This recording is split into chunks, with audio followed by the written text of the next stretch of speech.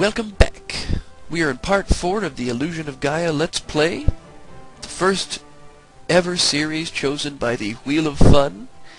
And in the last uh, last time, we went through our first dungeon, as I like to call them. And it was cool. We got to collect some DP, we got to change into Freedom, and we met Lily, who is a flower spirit. So, now we're going to talk to Kara, and we're going to escape from the castle. And here's that guard. Oh, he's sleeping. There you are. Now let's do this. Of course you'd come. Thank you. Oh, and here's where you learn his nickname. He's called Old Snorehead. what a noob. Your little pig has come. His name is Hamlet. Cute, isn't he? Oops, sorry about that. So, now you gotta take her out. But before we leave, we have to grab some food from the basement. And that's exactly what we do. I think she reminds you to do it, but I, I know to do it anyway. So, we go down here and get a nice fanfare from finding this. Da da da! Now wait till you see what you find. A large, yummy, roast leg of yak! Oh, wait a minute. Well, at least it's not snail pie. Everything's ready. If you try to leave the castle without getting this, she she tells you we we're not ready yet, and you gotta kind of you could spend hours in this castle trying to figure out what the heck to do, but that's it.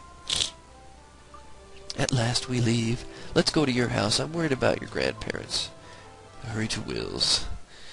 So here we go. We're going to Will's from the castle. It's funny. It was nighttime in the castle, but it's it's uh the, the implication is that it's daytime on the map all the time. But then again, the map is just for aesthetics. It doesn't reflect the time of day. That's alright. Super Nintendo for you. Oh my goodness, what happened here? They ransacked the place. Must have been the king. Because he said go to the house and find it, and they, they trashed the place looking for the ring. And the grandparents are gone. And then, of course, Kara finds this symbol on the wall. It's terrible, it's terrible. What is it? Look at the wall. It's a mark. A jackal. The jackal's here. A jackal? That's the guy that that the queen hired. Which you meet later on. He's he's kind of nasty, but you know, that's later. It's actually at the end of the game. He has no regard for human life. And here's Lily. Now we see the, the battle of women. Get a little personality going on. Don't worry, you two. You're the one who... Who are you? I'm, I'm Will's friend. Lily, do you know anything about this? It's okay, your grandma and grandpa are safe. They're in my village. So they were saved. The house was ruined. Itory Village. And they never heard of the village because it has a barrier around it to make it invisible. So now it's time to go to Itory Village. This is far too dangerous for a princess. You can't stop royalty. I'll do whatever I want. Blah, blah, blah. Typical of a princess. However, before we leave, we should really get that red jewel from the fisherman. And it's just important to do that, because if you don't get it now, you'd never get a chance to do it again. So there that idiot is, sitting over there and hopefully after a few uh, and they're they're still sitting there playing cards. It must have been two days they're sitting there. So we're gonna try to get this guy to show up on the dock. May take a few tries and I, I will probably skip uh, the video until I get him Okay, so there he is. Uh, there have been volumes written on this game, and this is one of the most obnoxious red jewels in the whole game. Because it's random when this guy sits here. Uh, you have to actually search the pot to get it. There we are. But sometimes you get it on the first try. Sometimes it can take over a hundred in and outs to get him. But we got it. It only took me about 30 that time.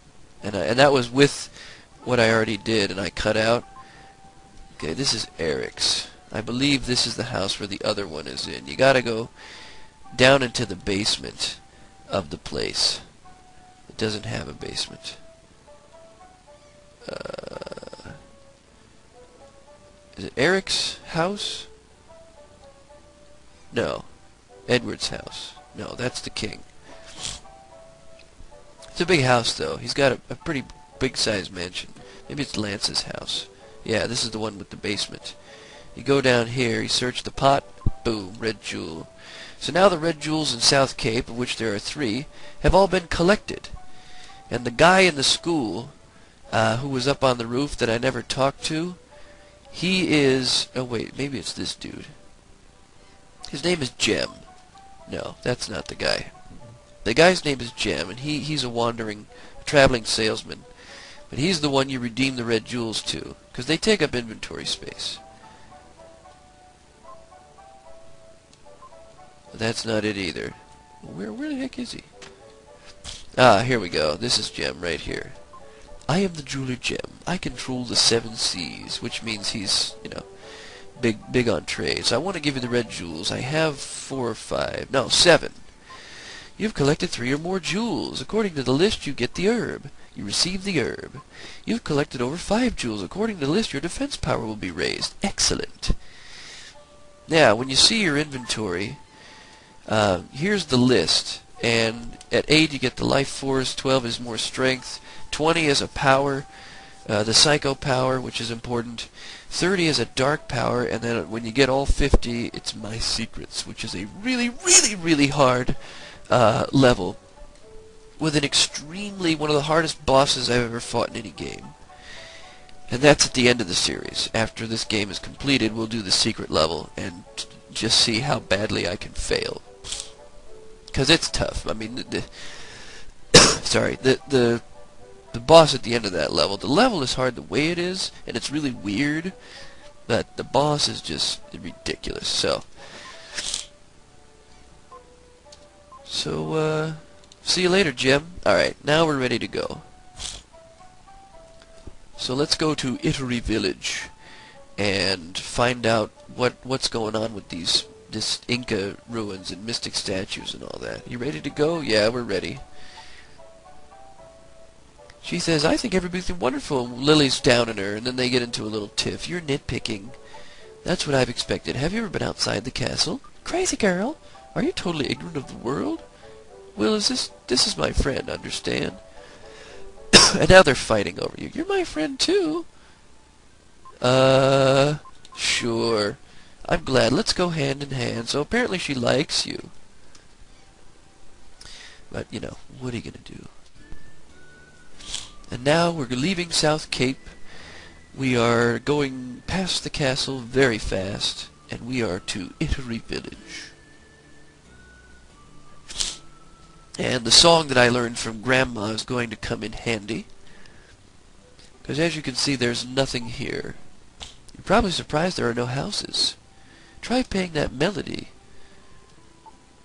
Where are you going? I tried to move and it, it won't let you. You have to equip the song and then uh, play it. You get to hear this pretty little tune again on the purple flute. Now, you don't see any of the other town, you just see this first shot of it. And it's like, well, is it empty? I can't really tell, but but yes, when when he stops playing the song, you get to realize that yes, there was a lot missing. This was an empty landscape. The melody carried on the wind spread over the meadow. Ah, I see. It even made the plants and the rocks and trees appear.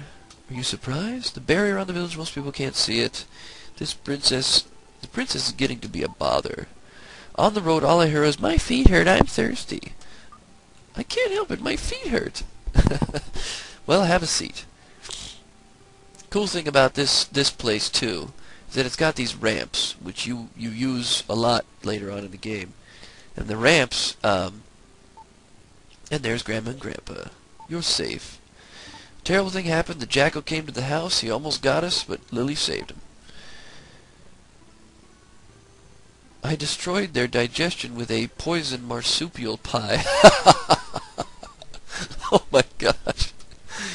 Then I ran away. he made them eat pie. this pie thing, man. I keep saying it's not the end, but I can't remember all the dialogue. It's just... Oh boy, it's funny. Always with the pie. Four four parts in and the pie is still rocking.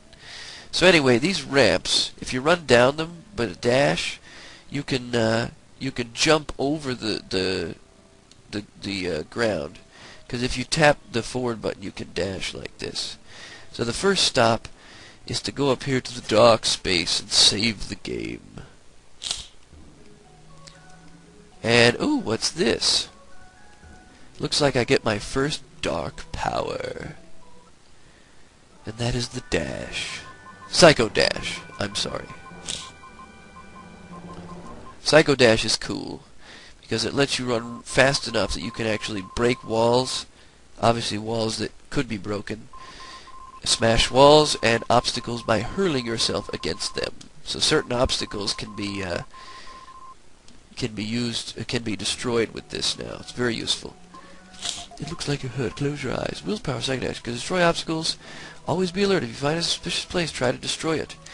A suspicious place that he talks about. That is any place where your hair blows in the wind. If there's no wind, because in this game, Will's hair actually blows in the wind. You can and his clothing. You can see it moving clearly right there.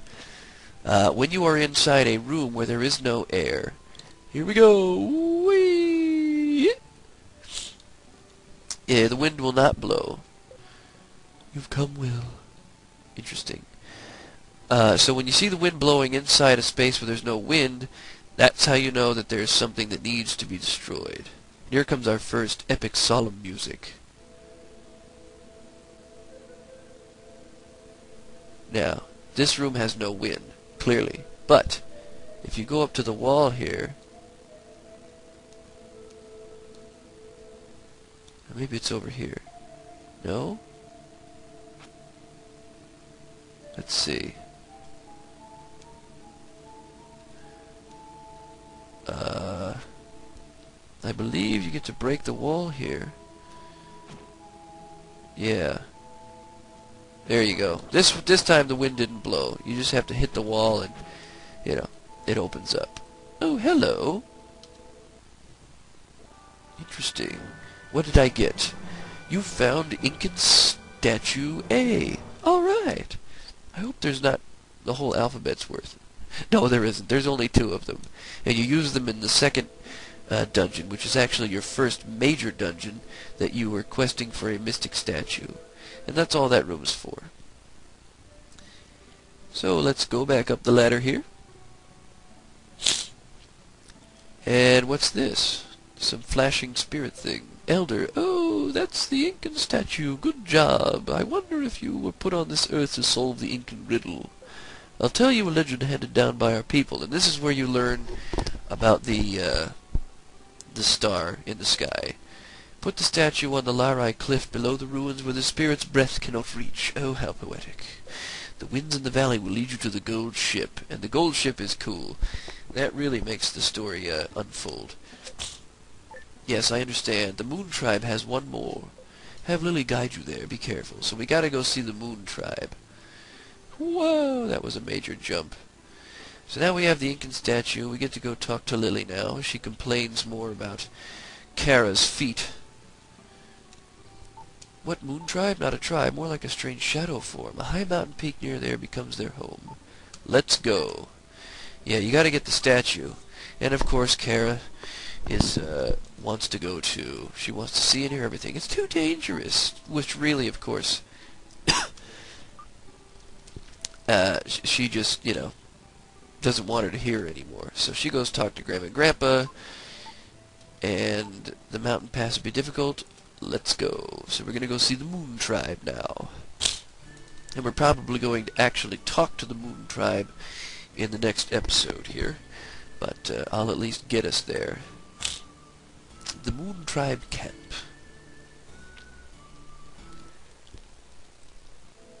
Alright, so this is the home of the Moon Tribe. And basically, when you go up those stairs, the Moon Tribe appears and you can talk to them. But you have to go in this room of trials to quest for the other Incan statue. And we're going to do that in part 5 of this uh, series. And I thank you guys for watching. and uh, I'll see you then. Sweetness.